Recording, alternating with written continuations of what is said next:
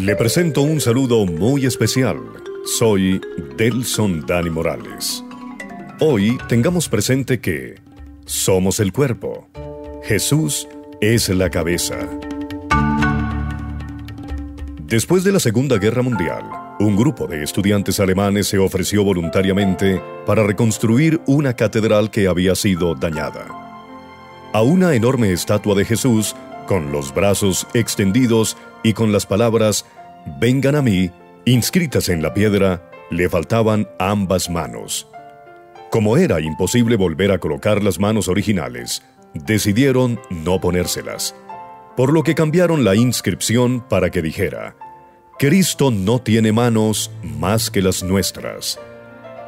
La metáfora más conocida entre las utilizadas por Pablo para los seguidores de Jesús es el cuerpo de Cristo. Ante todo, porque el cuerpo físico de Jesús no está presente en la tierra, pero Él sigue ministrando a través del cuerpo colectivo de sus seguidores. En segundo lugar, porque un cuerpo tiene diferentes partes que son únicas, las cuales los escritores del Nuevo Testamento comparan con cada uno de los cristianos. Algunos somos oídos, otros somos pies, otros manos, todos trabajando en armonía para hacer la obra de Jesús en el mundo. Del cuerpo debemos aprender a trabajar en equipo, a no buscar nuestra propia gloria.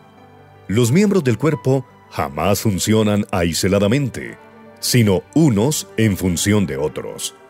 En primera a los Corintios capítulo 10, versículos 32 y 33, Pablo dice, No hagan tropezar a nadie, hagan como yo, que procuro agradar a todos en todo. No busco mis propios intereses, sino los de los demás, para que sean salvos. Si usted es un seguidor de Jesús, ha recibido gracia, es decir, un don espiritual a través del Espíritu Santo para hacer algo que haría Jesús si estuviese aquí en persona. A través de usted, las manos de Jesús ministran cada día a los demás.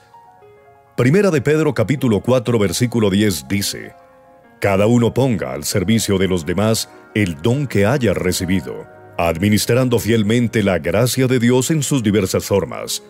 El que habla, hágalo como quien expresa las palabras mismas de Dios. El que presta algún servicio, hágalo como quien tiene el poder de Dios. Así, Dios será en todo alabado por medio de Jesucristo, a quien sea la gloria y el poder por los siglos de los siglos. Amén. La persona tocada por un seguidor de Cristo está siendo tocada por Cristo mismo. Para mayor conocimiento de las Sagradas Escrituras, escuchen Nuevo Continente, 1460 AM en Bogotá y en internet nuevocontinente.org. WhatsApp 311-830-4162. Me despido. Hasta la próxima.